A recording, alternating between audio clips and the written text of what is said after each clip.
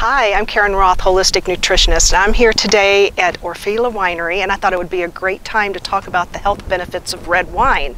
And there are a couple of really active compounds that, if consumed through red wine in moderation, can have some really good benefits and towards a healthy heart.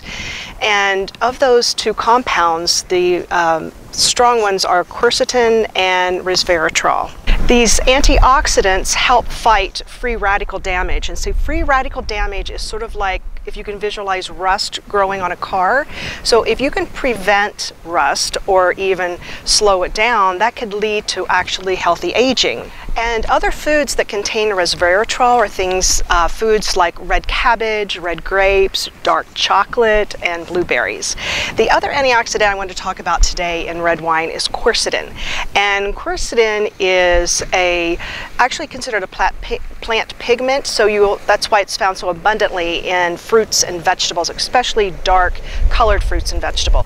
Quercetin is a natural antihistamine, making it effective for naturally lowering the effects of seasonal assaults. Other food items that contain quercetin are dark cherries, blueberries, tomatoes, dark leafy greens like kale or spinach, and cruciferous vegetables like Brussels sprouts and broccoli. So you have multiple ways of getting resveratrol and quercetin into your diet, whether it's drinking a glass of red wine, sitting down to a spinach salad, um, and maybe having some dark cherries and maybe some red grapes and maybe a little bit of dark chocolate. And if none of this sounds really good to you and you don't like wine and maybe you don't like these healthy fruits and vegetables, you can get these powerful antioxidants in supplement form too.